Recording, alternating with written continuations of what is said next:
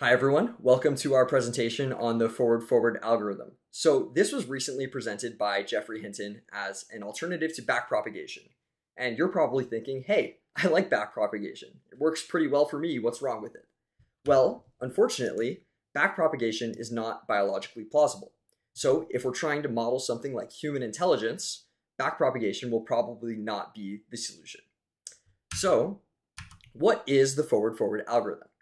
Well, first, let's look at backpropagation. So the idea is you have activations which you flow through the network, where you then calculate a loss, and then use that to get a derivative which you pass backwards layer by layer through the network. Now with the forward-forward algorithm, we actually calculate a loss at each individual layer. And this loss is used to update the weights of that layer and that layer alone. Now, how can you get a loss at each layer, you might be wondering. The idea is you use what is called positive and negative data.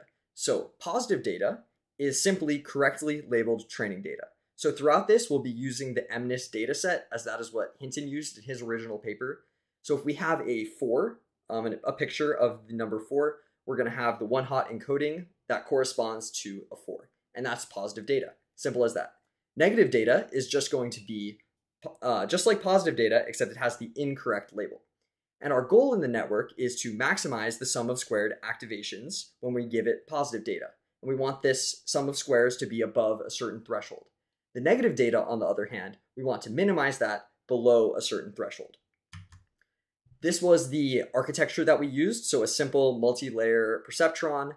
And you might be wondering, why do we use a perceptron when we're doing image classification as opposed to a CNN?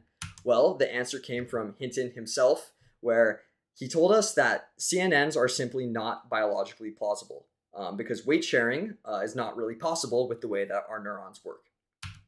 So we were able to pretty much match his baseline and almost achieve the same accuracy with forward forward as with backpropagation.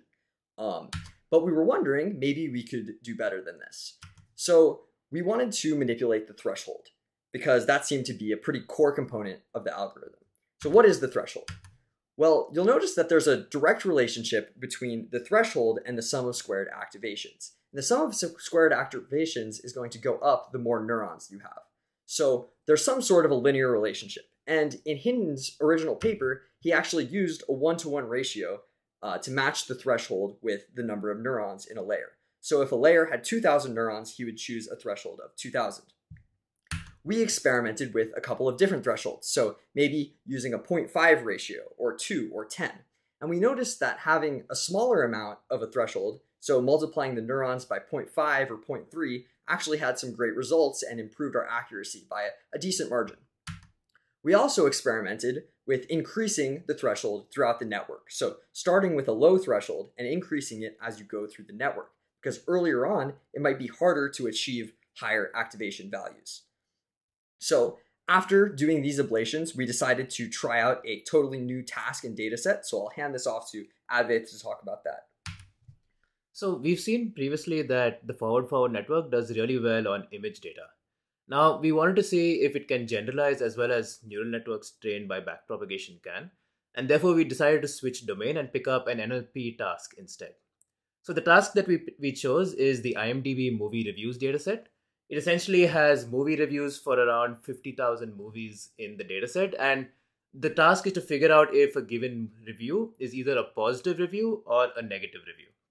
And we saw that the forward forward network does really well over here as well. You see, again, we were able to re-implement the baseline set by backpropagation.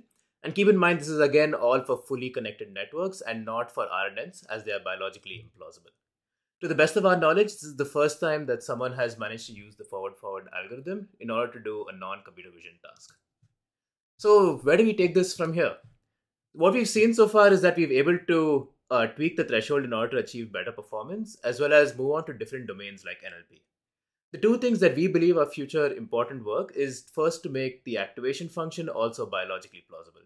We do have some negative results in this domain, and we believe it's an exciting area for people to work on. Lastly, we know that the brain learns over time. However, backpropagation through time is especially implausible. Therefore, figuring out how to use the forward forward network in a recurrent manner is also an important direction of future work. That's our presentation. Thank you for listening.